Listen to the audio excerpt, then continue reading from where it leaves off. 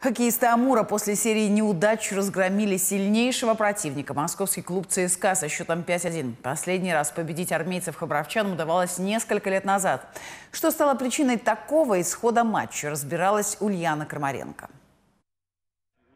Первый матч выездной серии и сразу с лидером турнирной таблицы – московским ЦСКА. Последний раз Амуру обыграть столичную команду на регулярном чемпионате, да еще и в основное время удалось 13 лет назад. Абсолютно одного оставили на кругу вбрасывания Радана Ленца. За три минуты периода в воротах ЦСКА оказалось сразу две шайбы. Свой счет москвичи смогли открыть только в финале игры. И даже рискованный шаг замена вратаря на дополнительного полевого игрока ситуацию не исправил.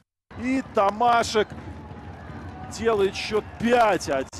Хабаровские болельщики во время онлайн-трансляции шутили, что неожиданный исход матча оплатили букмекеры. В серьезных обсуждениях поражение ЦСКА связали со сменой главного тренера. В июле этого года в московскую команду пришел молодой специалист, бывший игрок Сергей Федоров. Матчу с Амуром предшествовал проигрыш клубу Кунь-Лунь. Наверное, скажу одно. Мы вышли не готовы. Ни морально, ни физически. Я просто надеюсь, что это была наша худшая игра в этом сезоне. Для Амура этот сезон в целом не самый удачный. Из 17 игр только треть завершилась победами. В турнирной таблице регулярного чемпионата хабаровчане занимают 20-ю строчку из 24.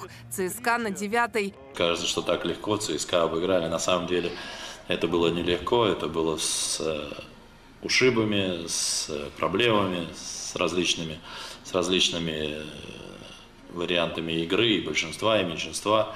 То есть, э, но в любом случае, да, победа, надеюсь, что она придает уверенность.